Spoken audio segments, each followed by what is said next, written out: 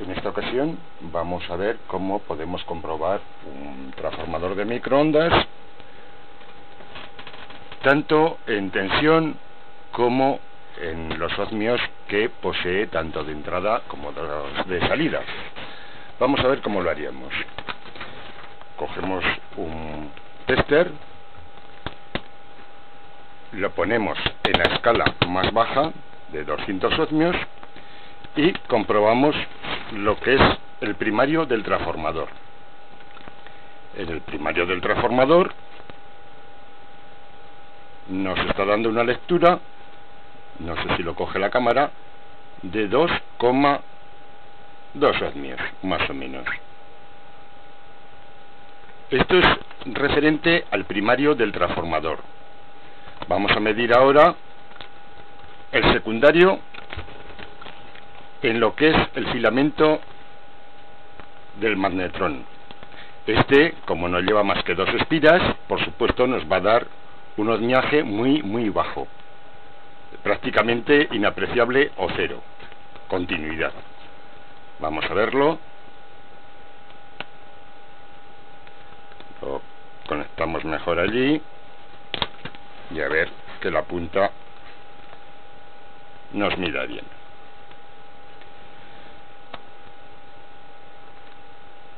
Y como vemos nos da una lectura de 0,02 ohmios o sea prácticamente cortocircuito. Vamos a ver ahora el secundario de alta tensión. En el secundario de alta tensión tenemos que coger eh, lo que es el de alta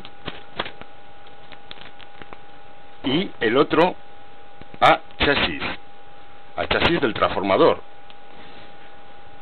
vemos que nos está dando una lectura de 158 ohmios no lo aprecia bien la cámara.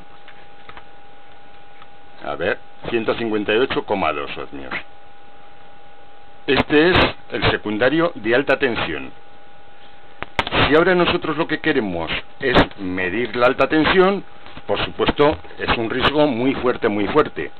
Eh, correríamos el riesgo de no tener una punta de alta tensión y rectificar la corriente de quedar electrocutados y destruir los aparatos. Para esto se, emplea una punta de alta tensión que ya en otro vídeo os lo demostraré cómo se hace. En este lo vamos a hacer, eh, poder medir la tensión del secundario, pero sin ningún riesgo. ¿Cómo lo hacemos? Muy fácil. Cogemos otro pequeño transformador, este en este caso es de, de un cassette, en el cual tiene su entrada de 0, 125 y 220, emplearemos la de 220 y a la salida debería ser 10 voltios. Bueno, yo no tengo en este momento de 10 voltios, pero sí tengo uno de 9 voltios.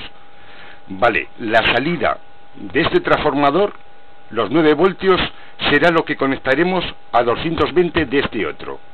Con lo cual, a la salida tendremos un voltaje que nos dirá si el secundario y el transformador de, alta tensión está bien o mal.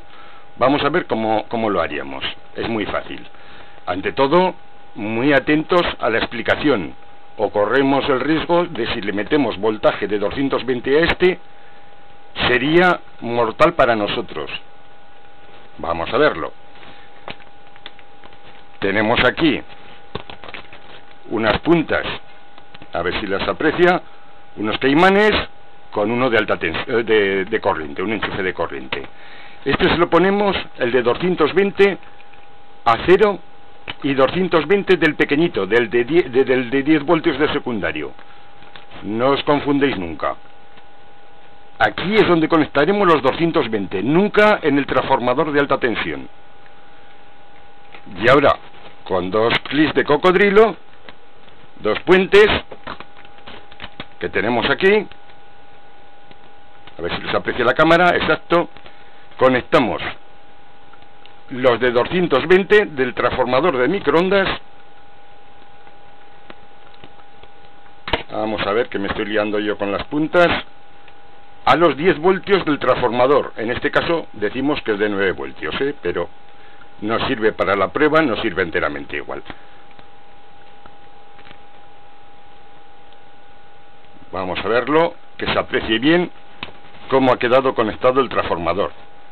220 a la entrada del pequeño, del que nos da los 10 voltios, y la salida del pequeñín, los 10 voltios, es lo que aplicamos al primario del transformador de microondas. Y ahora el tester lo ponemos en corriente alterna a 200 voltios. Y lo conectamos a la salida, a masa del transformador y al borne de alta tensión. Ya lo tenemos preparado y lo que vamos a hacer ahora es conectar a 220, como digo, el transformador de 9 voltios o el de 10 voltios, como queráis. A ver que se, se nos vea bien. Y veremos ahora el voltaje que nos da el tester. A ver en un punto que lo podamos ver.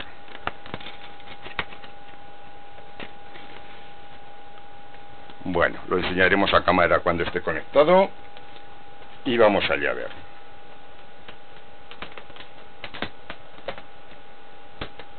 Le damos corriente y vemos que en la salida del transformador de alta tensión nos está dando 87 voltios. 87, o 86,8 sobre esa tensión. Eh, como este transformador es de 9 voltios, no nos da la tensión que debería de, darnos en el secundario. Pero estamos comprobando perfectamente que este transformador, el de microondas, tiene una salida perfecta, que no tiene derivaciones ni tiene nada de nada. Eso es todo por hoy y en la próxima eh, veréis cómo se hace una comprobación en corriente continua y con la punta de muy alta tensión. Espero os haya gustado. Si os gusta, dedito arriba. Vale, gracias.